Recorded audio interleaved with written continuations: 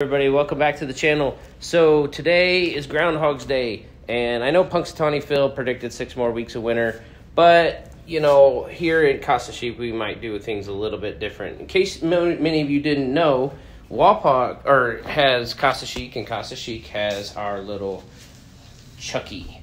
Chucky has been in the store for many many many years um, and so chucky today did not see his shadow and he predicts an early spring so yeah, come on down to Casa Chic where it is starting to look very springy here.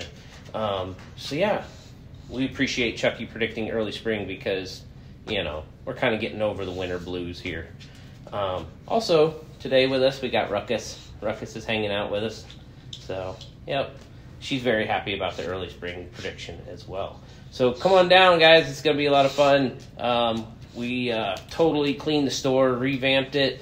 Um, it's looking very amazing here. Let me flip you around and show you a few things. Let's show you this window. Ah, there's Ruckus checking things out. But yeah, the outdoor window changed around quite a bit.